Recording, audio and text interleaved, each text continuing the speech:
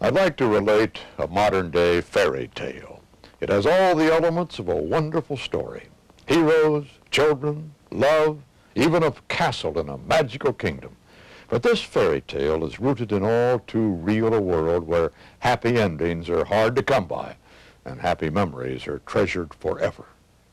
It begins with a phone call by the Wish Foundation in Massachusetts to a man named Henri Landwirth, who owns a hotel in central Florida near Walt Disney World. A six-year-old girl from Fall River who was dying of leukemia wished more than anything to meet Mickey Mouse. If all the necessary arrangements could be completed and she felt well enough five weeks from that day, would Henri make her wish come true? Well, the answer, of course, was yes. But five weeks was a little too long to wait, and that little girl passed away. Henri knew that time was the greatest enemy of these children, and he vowed to expedite all the planning and paperwork and red tape. Knowing that the last wish of over 70% of those children was to see Mickey Mouse, he immediately established a foundation to work in conjunction with the hundreds of wish foundations around the country and the world. And then, with the kind of determination that had helped him survive the Holocaust, Henri organized a network of local attractions, businesses, and volunteers whose sole purpose was to give kids the world, overnight, if necessary. Now, Wish Foundations everywhere can make a phone call to give kids the world, and within 24 hours can provide a Wish family with a wonderful visit and some unforgettable memories.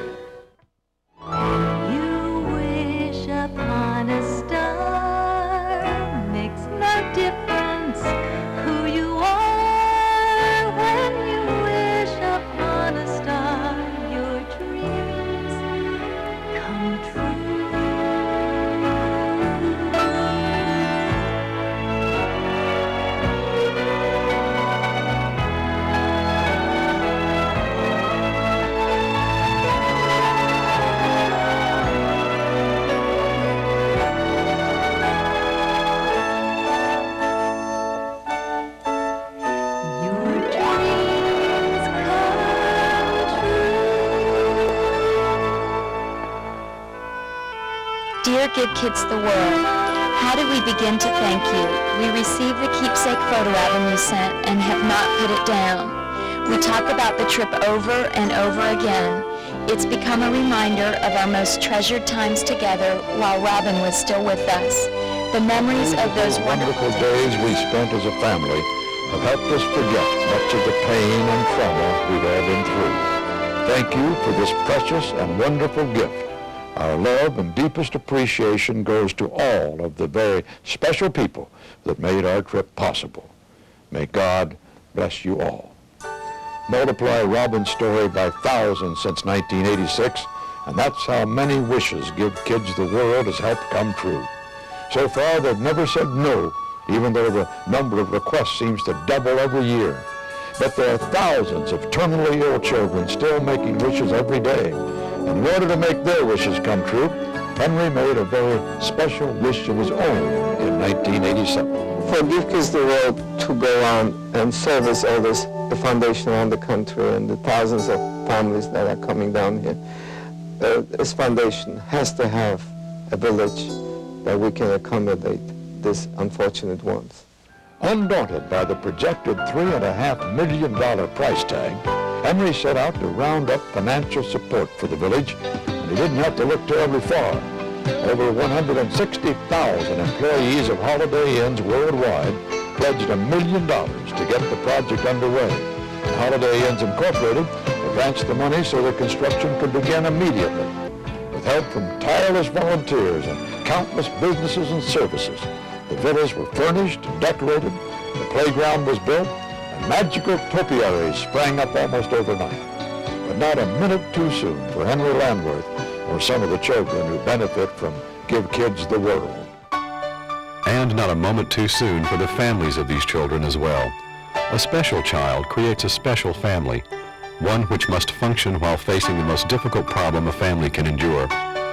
A Holiday Inn Kids Village experience includes everyone in the family, mom, dad, all the brothers and sisters get to spend these few happy moments together. And we care about these families. Along with on-call medical care provided at the village for the special children, counseling care and support groups are provided for the other family members. We want the visit to the village to be a time of magic and wonder for the wish child. And for the families, the memories of a life and a lifetime. What is life? After everything is over, some memories. That's all you have. So we give him the memories, the joyful few days together. A lot of people do a lot of other ways to thank God for a lot of things here.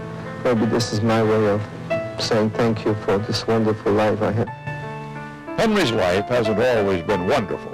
Like these very special children and their families, he knows how precious memories can be. A child prisoner of five concentration camps, he and his twin sister Margot lost both parents at age 13. Somehow Henri made his way to America in 1950. Since then, his tremendous energy and intelligence have earned him the enduring respect and friendship of those of us who were fortunate enough to get to know him during those pioneering days of space exploration at the Cape.